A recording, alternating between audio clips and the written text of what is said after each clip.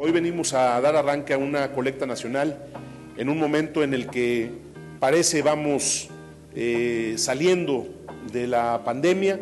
Hoy se dice fácil o suena fácil, pero la Cruz Roja aportó en Jalisco tres y medio millones de dosis en este proceso.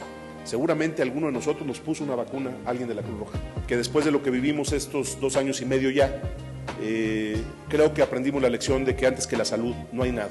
La colecta anual es una tradición de solidaridad, pero también es uno de los principales fuentes de recursos para que nuestras delegaciones obtengan suficientes recursos para la operación cotidiana. Nuestro compromiso es y será el continuar apoyando incansablemente la campaña de vacunación en Jalisco, recorriendo todos sus municipios, todas sus regiones sanitarias. Para llevar a cabo esta gran labor necesitamos de un mayor número de donadores generosos como ustedes.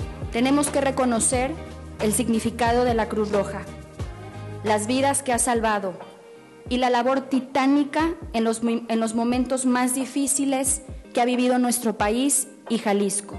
Estoy seguro que lo harán también en el Poder Judicial, en el Congreso, para hacer esta, este donativo, esta, que será de carácter voluntario, pero que yo creo que debe de haber un compromiso moral también al respecto, del 1% que podría permitirnos en la parte estatal poder eh, reunir como meta eh, cuando menos 13 millones de pesos adicionales. Que en Jalisco somos una familia, que la solidaridad es parte de nuestra esencia y que aquí todos le entramos juntos y que no se nos olvide nunca que la salud es un derecho y no un privilegio. Por eso gracias por estar aquí a todos y a cada una de las mujeres y hombres que son parte de esta institución nuestro respeto y reconocimiento y el compromiso de trabajar con ustedes para seguir cuidando la salud y la vida de todo el pueblo de Jalisco. Muchísimas gracias a todos, que viva la Cruz Roja Mexicana y que viva Jalisco.